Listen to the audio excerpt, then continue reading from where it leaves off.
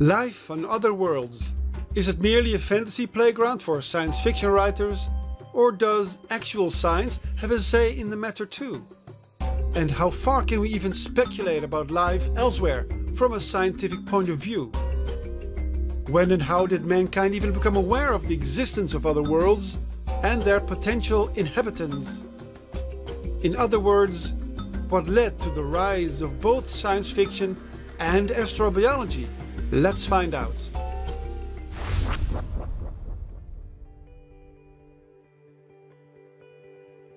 What would life from other planets be like? This is a question that mankind has been pondering ever since it became clear that there actually existed worlds other than the Earth. Of course, we have known about planets since ancient times, but we never understood what they really were until just a few centuries ago. For a long time, stars were just bright dots on the night sky to us.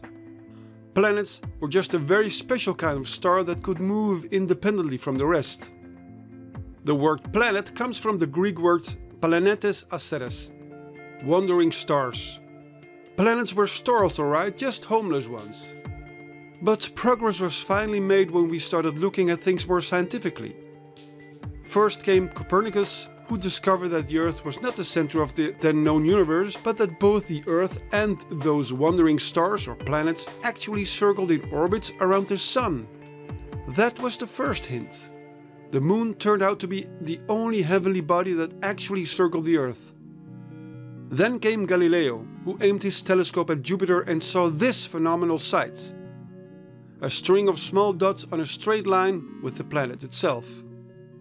The dots appeared to move back and forth in a way that could only be explained one way.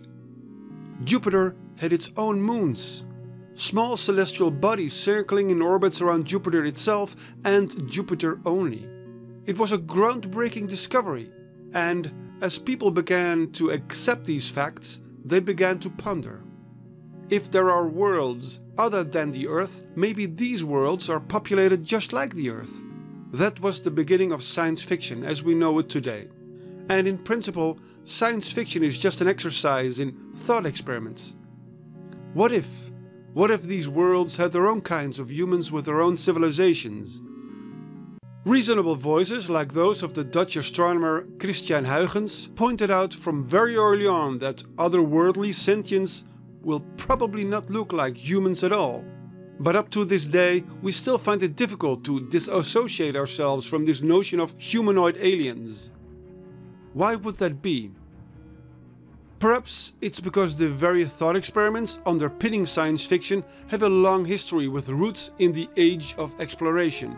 It was probably no coincidence that these ideas began to emerge in 17th century Europe.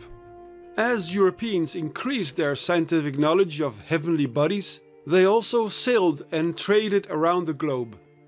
And the distant lands they discovered were very much like alien planets, often with a very different wildlife and plant life, and very different peoples.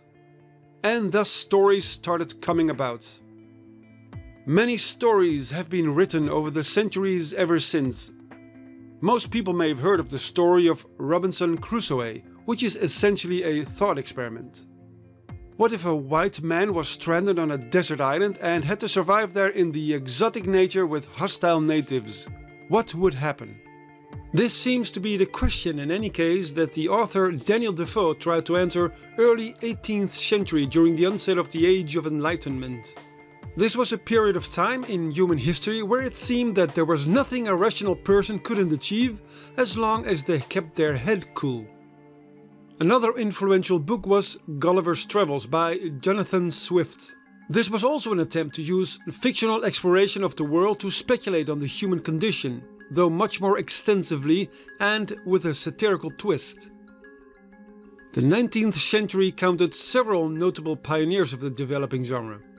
The novel Frankenstein by Mary Shelley explored the consequences of science carelessly meddling with the creation of human life. And there was Jules Verne, who envisaged futuristic technologies, as well as the exploration of fantastical hidden realms of the Earth, and even a voyage to the Moon. Nearing the turn of the century, H.G. Wells depicted Mars attacking Earth in the legendary book War of the Worlds. And in The Time Machine, he forewarned a dystopian future for mankind. The early 20th century was marked by the creation of the iconic character of Tarzan, whose origin story follows the same tradition as Robinson Crusoe.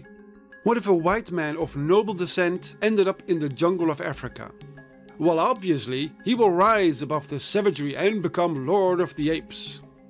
The author of Tarzan, Edgar Rice Burroughs, started another novel series that same year, featuring John Carter of Mars. It was largely the same story. A white man ends up on Mars, populated by different peoples. Because he's adapted to the Earth's environment, he has super abilities and strengths compared to the natives and therefore becomes a local superhero. And despite these books being steeped in a view of humanity that no longer belongs in these postmodern times, they're still important works. They laid the foundation for both science fiction and superhero movies. There's a clear straight line from John Carter to Superman. Superman came from the planet Krypton, and here on Earth he has super abilities compared to the native Earthlings. So these origin stories are cut from the same cloth. Marvel and DC clearly owe a great deal to Edgar Rice Burroughs for being among those kickstarting the genre. But these are just a handful of what became a multitude of stories about extraterrestrial worlds, each with their own peoples and nature. The genre really exploded in the 20s and 30s with mass produced cheap paperbacks that were devoured in high volumes by the masses. So science fiction was already really popular uh, for many decades both before and after the Second World War, when in real life the space race began. The United States and the Soviet Union were in fierce competition for being the highest achiever. Mankind launched rockets beyond the atmosphere, satellites into orbit and eventually boots on the moon. And then it really took off with the science fiction genre. From Star Trek to Star Wars and beyond, and often with many imaginative aliens. But then science came along and said, chill, Let's find the proper way to think about how, why and where life could arise and thrive beyond here on Earth. And a new field of research emerged most commonly called astrobiology. So what are those most basic conditions for life as we know it? Well, we'll talk about that in a future video. For now, stay tuned, cheers and bye bye.